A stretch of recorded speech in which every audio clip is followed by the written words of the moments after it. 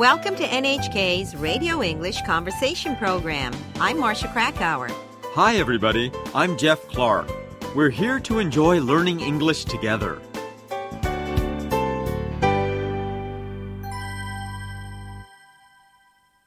All right, let's go on to the second part.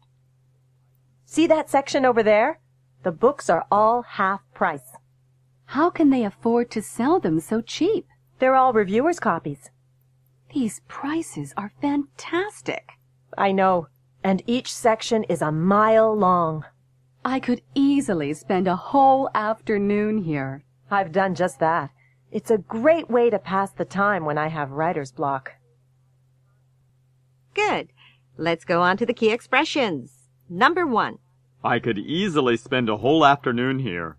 私はえここで簡単にえ午後ずっと過ごせそうだわ。 I could easily 何々は私は何々することが簡単にできそうですという意味です。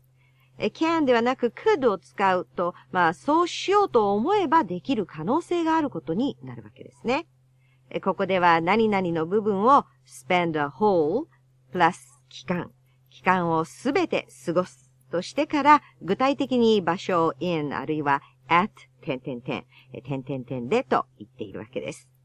この表現を使って、いくら時間を過ごしても苦にならないほど気に入っている場所について伝えてみましょう。Exercise 1 1私はスポーツジムで簡単に一日中過ごせそうです。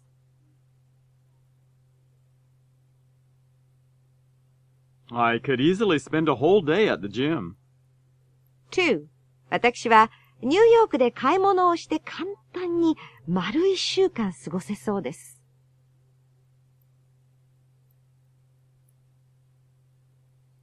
I could easily spend a whole week shopping in New York. Key expression number two. It's a great way to pass the time when I have writer's block. 書けなくなった時の時間つぶしにうってつけの方法なの。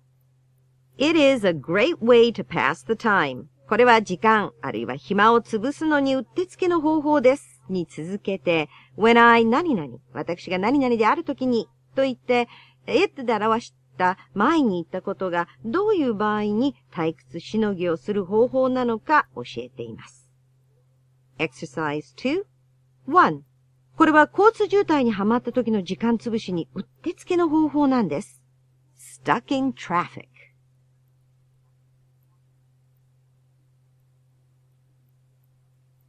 It's a great way to pass the time when I'm stuck in traffic.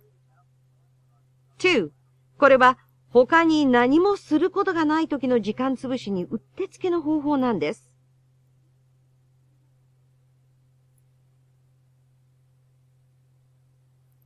It's a great way to pass the time when I have nothing else to do.